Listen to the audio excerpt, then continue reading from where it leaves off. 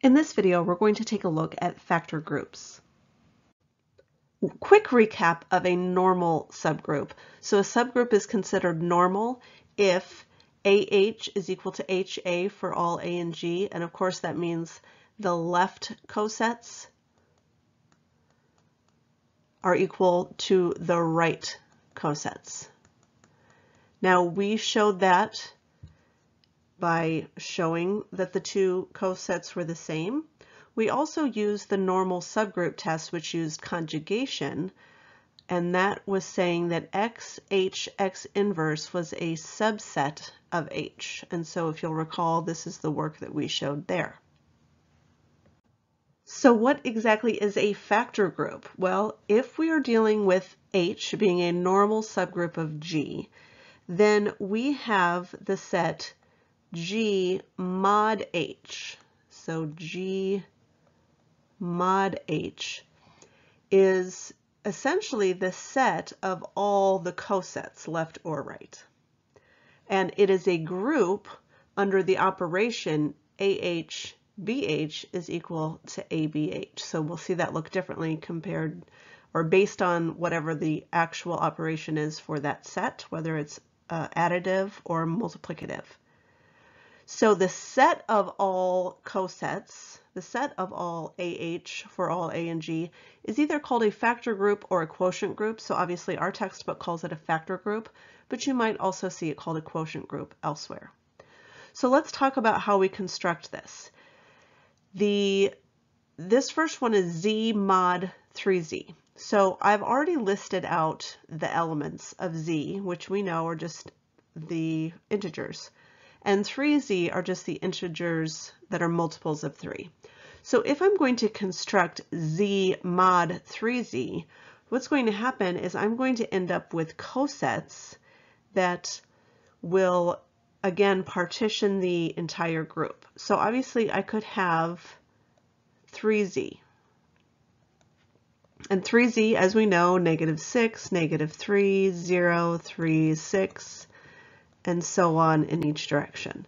So on Z, that gets rid of all of the multiples of 3. But what I want to do is partition the entire set Z. So now I might take 1 plus 3Z. Well, 1 plus 3Z would add 1 to each of these. So negative 5, negative 2, 1, 4, 7, so forth. So negative 5, negative 2, 1, 4, and so forth. I might also then add 2 to 3z. Well, that would add 2 to my original group, which is negative 4, negative 1, 2, 5, and so forth. And we can see exactly what's going to happen is we have now essentially used up all of the elements in Z. We've partitioned Z into three different cosets. So this Z mod 3Z is a group, a factor group or quotient group of 0 plus 3Z, of 1 plus 3Z, and of 2 plus 3Z. So essentially this group has three elements. The important thing to remember is that these three elements are now considered a group.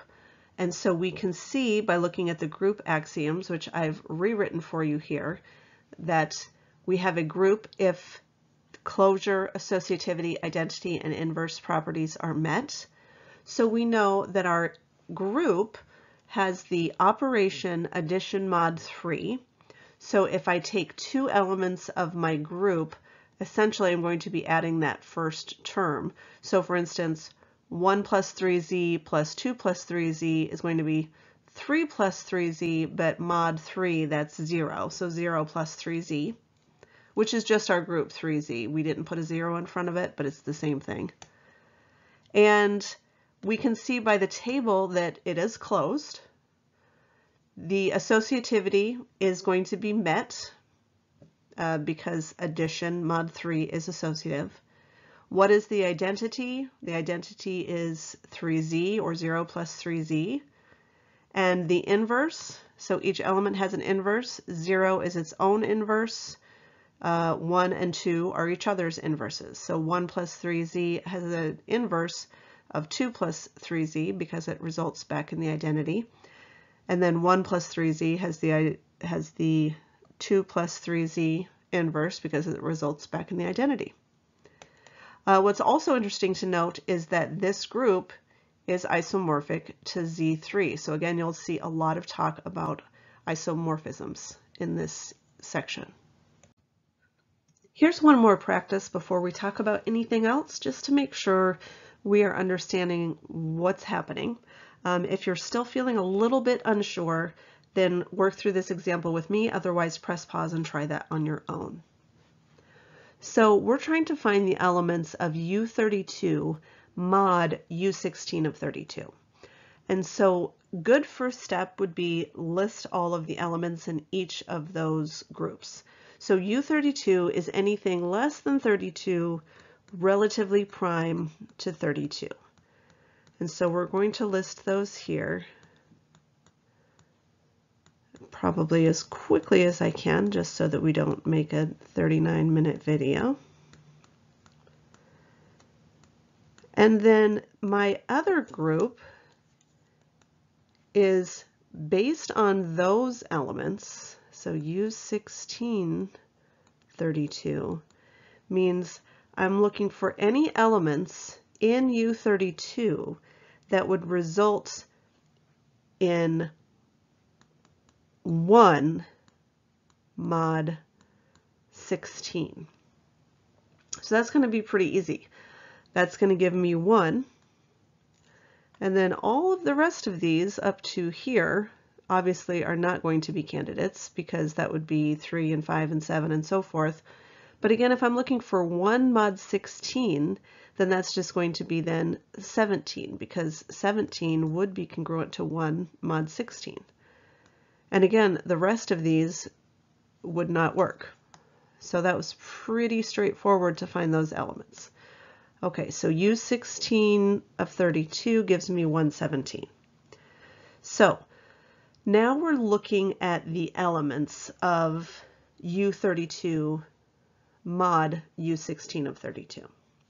So we're going to have, this is H. So we would have H, which would be 117. So I'm going to cross off 1 and 17. And then what if I had, now notice that this um, operation is not addition. This operation is multiplication. So what if I had not 2h, because that would give me 2 and, you know, 34, which would be 2 again.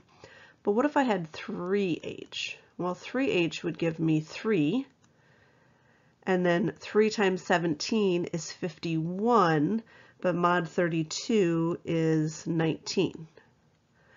And then I would have not 4h, because again, we don't have any even values. So now I would take 5h. So that would give me 5 and 21.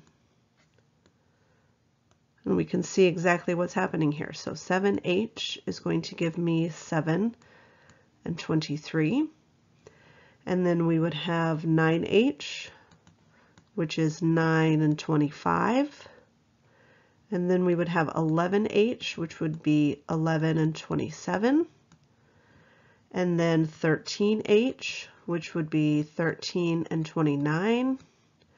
And then 15h, which would be 15 and 31. And if you'll notice, I didn't continue crossing things off, but I could have 7 and 23, 9 and 25, 11 and 27, 13 and 29, and 15 and 31. So you can see I have partitioned the set, and so if I were to list the elements, I could just list them as H, 3H, 5H, and so on. Using that same example, let's take a look now because we know that that factor group has an order of eight, which we could have determined because again, there are eight elements. Or because there were 16 elements in U32 and two elements in U16 of 32. So again, we have eight elements, which means it has to be isomorphic to Z8, the external direct product of Z4, Z2, or Z2 cross Z2 cross Z2. So the question is, which is it, and how do we know? Well, this is going to kind of put together a lot of things that we learned starting way back in chapter 4 when we talked about cyclic groups. Now, first of all, we should know that Z8 is cyclic, whereas Z4, the external direct product of Z4, Z2, and Z2 cross Z2 cross Z2 are not, because 4 and 2 and 2 and 2 and 2 are not relatively prime. We should also note that any element in Z2 cross Z2 cross Z2 is going to be of order 2. So how do I know that? Well, let's think about Z2. Any element in this external direct product is going to look something like this, made up of zeros and ones. And the operation would be just addition. So let's say I added this element to itself, or squared it, which would be basically taking it times 2 that would give me 202, but again, this is mod 2, so that would give me 0, 0, 0, which is the identity. Every element is going to behave that way, and we're going to have an order of 2. So why am I talking about orders? Because that's how we're going to determine which group this is isomorphic to. So let's take a look at when we're talking about the orders of the element. This element, H, or 1H, um, in our example is 117, and that is considered the identity. So we're asking how many times do I have to take that uh, times itself to get back to the identity. So again, keeping in mind that even though the um, group operation for any of these are going to be addition, our group operation in U32 is multiplication. So when I ask for the order of 3H, essentially I know that 3h is 319, but 3h squared would be taking the 3 and squaring it to get 9, and taking the 19 and squaring it. Um, and again, this is mod 32, and so I'm going to end up with 25. So the order of 3h is not 2. Well, we already know then that it cannot be isomorphic to that last group because every element has order 2 and our orders need to match up for them to be isomorphic.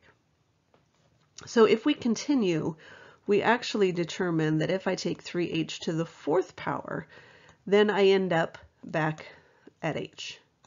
So that means element 3h has order 4. So let's now check another element, say 5H. 5H, I'm not 5, let's do 7. 7H is 723. So now if I look at 7H squared, that's 7 squared, which is 49, but mod 32 gives me 17. And then 23 squared is going to give me 1, again mod 32, and so this element has order 2.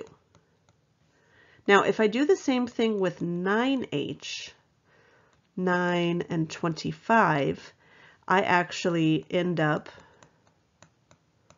back at h as well. And so what happens now is I know that both of these elements have order 2.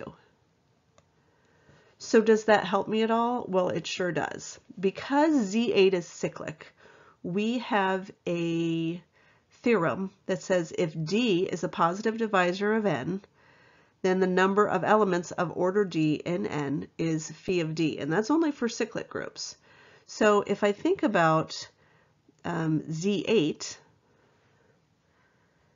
and using 2, so phi of 2 is the same of, as U2, if you'll remember that.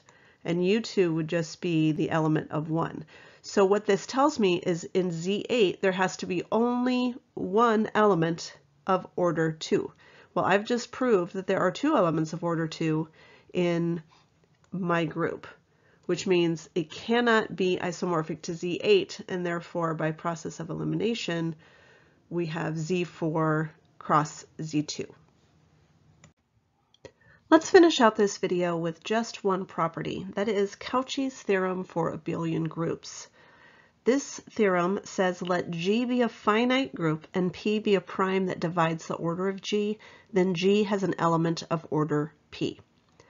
So you might be thinking that you've heard this before. Well, Lagrange's theorem says that if H is a subgroup, the order of H divides the order of G. Notice for Cauchy's theorem, this is not saying that H has to have a subgroup of that order. So this is just saying, hey, if there's some prime number that divides the order of the group, then there has to be an element of that order. So for instance, if I have to prove that an abelian group of order 33 is cyclic, I can do so pretty easily using Cauchy's theorem. So I can say that based on Cauchy's theorem that there has to be some element A in G such that the order of A is 3, because 3 is a prime number that divides 33. And there has to be some other element, we'll call it B, such that the order of that element is 11, because again, 11 is of prime order and divides 33. So based on that, then there's some element AB where the order is obviously the least common multiple of the orders of each of those groups, which means the order of element AB is 33. Well, 33 therefore generates the entire group, and therefore group G must be cyclic. Up next, we're going to finish up chapter 9 by taking a look at internal direct products.